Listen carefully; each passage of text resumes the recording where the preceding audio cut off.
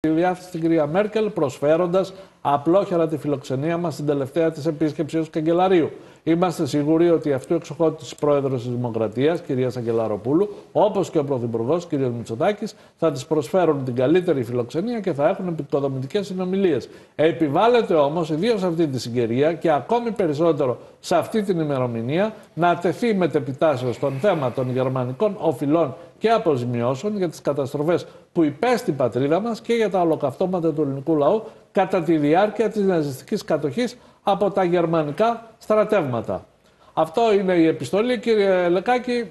Είναι, είναι, μία, είναι μία από τις τέσσερις που στείλαμε. Πριν ε, έρθει η Μέρκελ εδώ πέρα, τους προειδεάσαμε και τους συνιστούσαμε και τους υπενθυμίζαμε. Αν θέλετε, λες και δεν τα ξέρουν, ότι ε, έρχεται και πρέπει να θέσετε αυτό το θέμα. Δηλαδή έχουν ενημερωθεί όλοι ε, και από την, ε, την Ένωση των Αντιστασιακών, όπως είδατε, και από το Εθνικό Συμβούλιο Διεκδίκησης των ε, Γερμανικών Αποζημιώσεων και από την δικιά μας την Επιτροπή Κατοχικού Δανείου και Κλεμμένων Πολιτιστικών Θησαυρών και από πάρα πολλούς, ας πούμε, ξέρω εγώ, ανθρώπους που ασχολούμαστε με αυτό. Έχω γράψει έξι βιβλία.